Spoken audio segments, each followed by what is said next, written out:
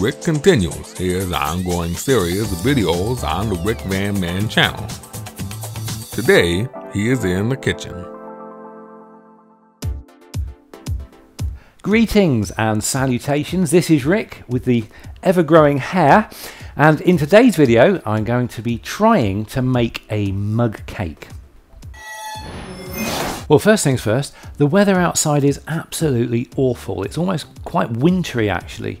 Um, so today I decided I would put on my little kitchen lights, my nice little colourful lights, uh, just to cheer things up a little bit. So, mug meals. Um, apparently, they were popular about a year ago. I completely missed out on this whole thing, and there are loads and loads and loads of videos on YouTube on how to make meals in a mug. And they're very, very simple and straightforward. You just spoon in a few ingredients into the mug, uh, mix them up, put it in the microwave, and you've got whatever it is you make. Um, cakes are very popular. You can make pizzas, you can make uh, uh, macaroni cheese, and all sorts of little savoury dishes like that. But today's video, I'm going to be trying to make a lava cake.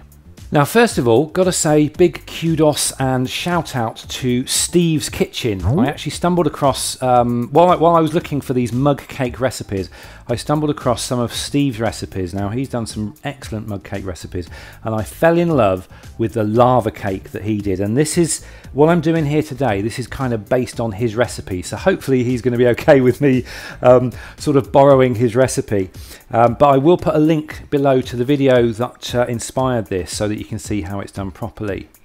Now, Steve, uh, when he made his, he made it uh, for two people. It, I think it was coming up to Valentine's Day, and um, he made this kind of lovely sort of two-person mug lava cake that you could share with a loved one. Unfortunately, I live on my own and I haven't got anyone to share it with, so I've decided to um, half the ingredients. So this is just for one.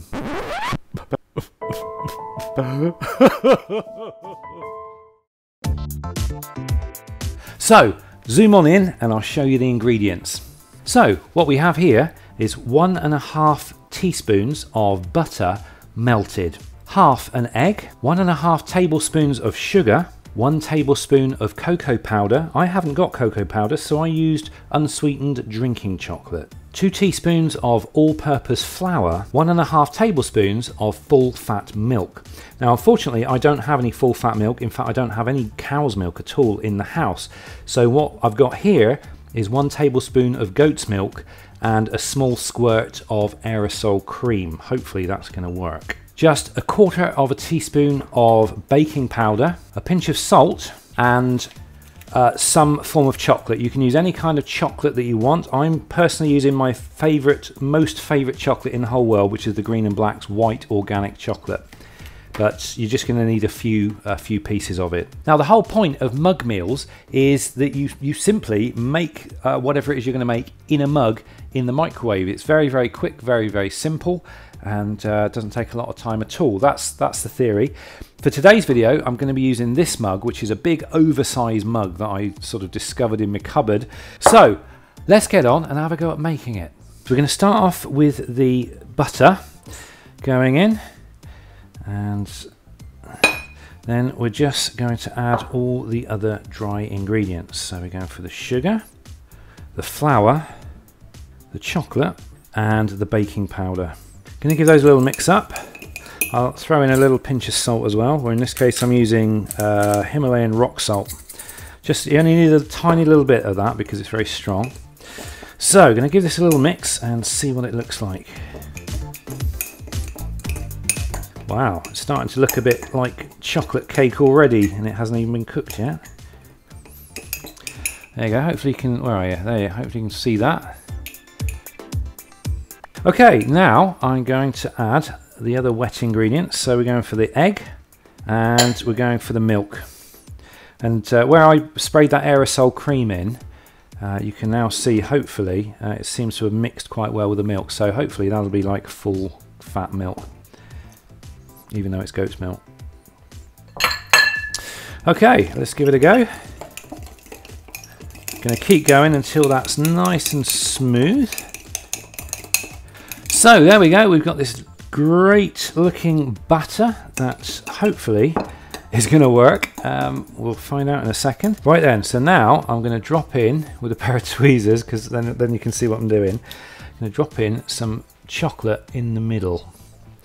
So I'm just going to use three pieces of this organic white chocolate. There we go. And then last but not least, I'm going to put in half a tablespoon of water. Just pour it over the chocolate there. Okay, so now we're going to put it in the microwave for, I'm going to go for about a minute and a half. This is an 800 watt microwave. I'll go a minute and a half and then let's see what happens.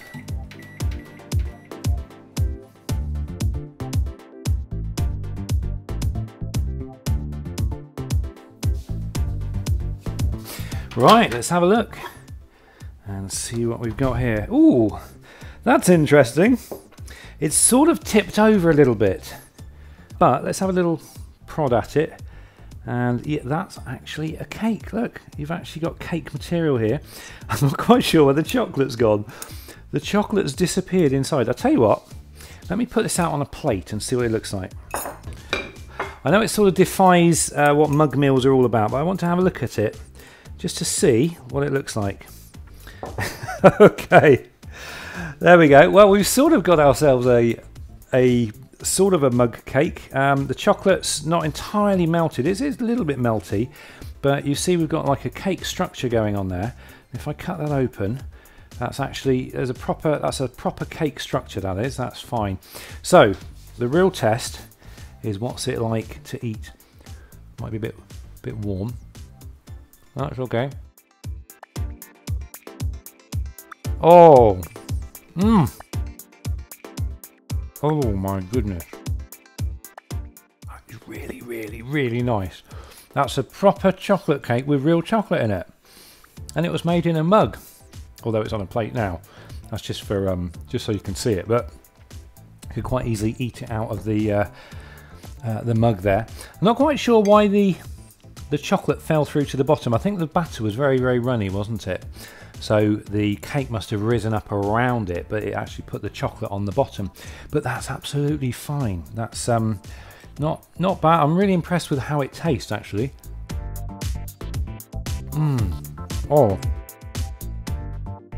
that is gorgeous. So there we go. That's it. Uh, lava mug cake in a mug. Well, obviously not in a mug in this case, um, but you can eat it from the mug to save you washing up. Uh, my very first attempt. It's uh, not as pretty as I was hoping it might be, but that's not a problem and uh, I shall carry on practicing at this until I get it exactly right. Uh, in the meanwhile, go make sure you go and check out Steve's channel, Steve's Kitchen, uh, because this is where I uh, originally got the inspiration to try it from. And Steve knows what he's doing and he got it right first time. So definitely worth a view.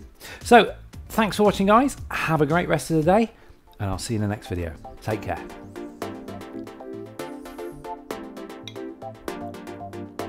음. 음.